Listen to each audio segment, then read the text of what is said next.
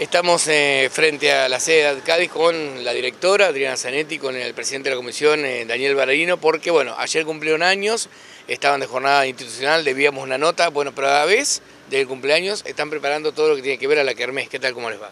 ¿Qué tal? Muy buenos días a toda la comunidad, así es, estamos con todos los preparativos finales para este sábado 9 de noviembre tener el festejo de nuestra tan esperada Kermés, novena Kermés Alcadiana. Bueno, eh, ¿cómo nos encuentra este cumpleaños y cuántos años primero que todo? Bueno, eh, buenos días a la audiencia. Eh, son 40 años. en realidad ayer fue cuando se creó el ADCADI, es decir, la asociación. Y las, las tareas, las clases comenzaron el primero de diciembre, que ahí nosotros vamos a hacer el, el acto de los 40 años porque realmente se nos estaba juntando todo. Pero el 1 de diciembre fue cuando comenzaron las actividades y ahí vamos a hacer el acto. Y bueno, estamos armando todo para, para esta kermés, la novena kermés, y esperando bueno, una buena concurrencia. Y cuando surgió la idea de la kermés en su momento, tuve posibilidad de estar en dos o tres de ellas, pero superó creo ampliamente las expectativas, ¿no? porque no había lugar, se vendió absolutamente todo. Sí, sí, la verdad que pensó algo muy por una para hacer una, era un nexo entre la comunidad y la, familia. Y sí, empezó muy, muy, muy chica y se fue agrandando, se fue agrandando. Y sí, los últimos años eh, colmó las expectativas porque se llenó el, patio. Incluso hemos pensado realizarla en otro lugar, no porque no corresponde, pero sí ampliar, pero no tenemos muchos lugares. Pero bueno, eh, el patio está, está, está muy lindo, ya y tiene la capacidad más o menos que, que podemos albergar toda esta gente que viene. ¿Esto cuándo va a comenzar? ¿Qué es lo que tienen previsto para que la gente, más allá que cada uno que viene sabe, pero que el que no haya venido, qué es lo que va a encontrar? Sí, bueno, como te decía, es este sábado ya, 9 de noviembre, a partir de las 20 horas. La entrada es libre y gratuita. Pueden colaborar con un alimento no perecedero o algún artículo de, artículo de limpieza, pero bueno, no es necesario. Este, van a estar en el escenario eh, los grupos Corte Cumbia, Maxi Fernández OK y va a cerrar la noche Rosa Negra. Vamos a tener eh, durante el predio la venta de la rifa ganga, que es la venta de los premios, de los mejores premios que donan los comercios de la ciudad, porque eso también hay que destacar. Esta fiesta se sostiene también por toda la donación que dona la comunidad. Eh, básicamente los regalitos, este, bueno, que va a tener un, valor bajo para que todos puedan acceder y también la tradicional rifa de la moto 0 kilómetro y el TV de 43 pulgadas.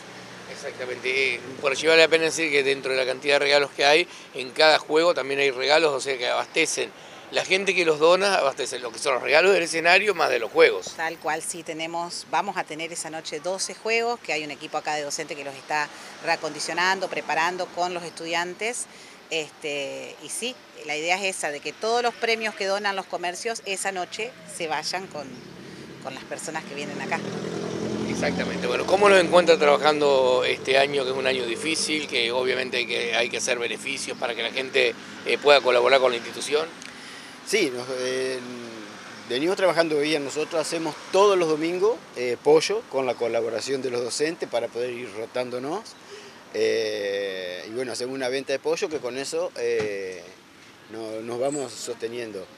Y bueno, alguna, en este caso la, rifa de la moto, que también nos va a dejar algún beneficio. Y bueno, y tenemos la colaboración de la municipalidad para este evento, por ejemplo, que nos eh, para el armado de luces, que ellos tienen hidro, el hidroelevador para poder armar todas las luces, corte de pasto y eso, porque realmente es un trabajo bastante grande que ellos nos colaboran para, para tener todo el patio en orden. Y para sustentarse también, digamos, aquí bueno, hay otros talleres, panificación, eh, hay algunas unidades separadas también.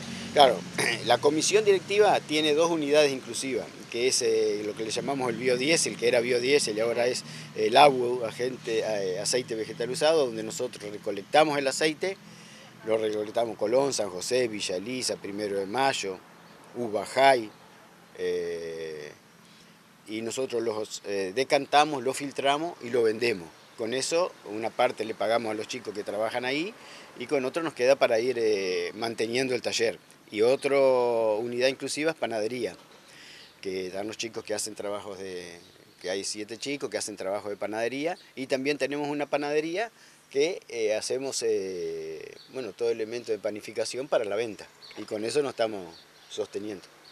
y ahí también los chicos bueno, tienen un rédito, ¿no? Sí, sí, sí, puede llegar a tener un rédito. Y con eso no, no, nos vamos manteniendo eh, porque nosotros somos de gestión privada, el Estado nos paga los sueldos y nosotros tenemos que pagar parte de las cargas sociales y por supuesto todos los servicios, ¿no es cierto? Agua, luz, todo, todo y el mantenimiento del edificio, que no es, no es poco.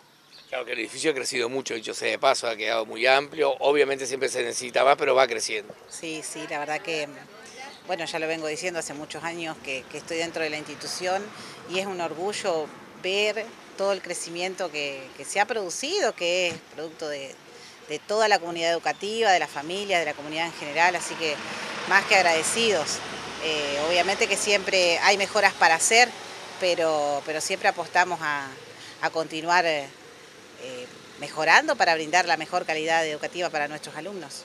¿Con qué matrícula cuentan en este momento? Nosotros tenemos en la actualidad 35 estudiantes, pero bueno, tenemos por ahí la dificultad de que solo tenemos 5 docentes.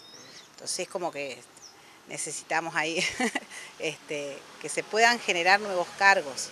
De hecho tenemos muchas inscripciones ya para el año próximo, así que bueno, estamos ahí gestionando todo para ver si, si se nos puede dar la posibilidad de ampliar nuestra oferta educativa.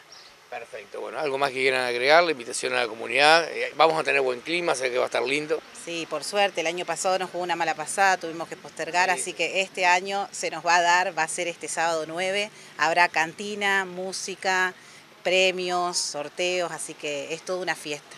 Festejamos los 40 años e invitamos a la comunidad a que vengan, que nos acompañen, que conozcan lo que es nuestra institución y bueno, los esperamos. ¿Algo más que agregar, Daniel? No, no, nada más que esperamos toda la comunidad que nos visite, eh, que no se van a arrepentir, que van a ver un buen espectáculo y van a tener comida, gastronomía a buen precio para poder consumir.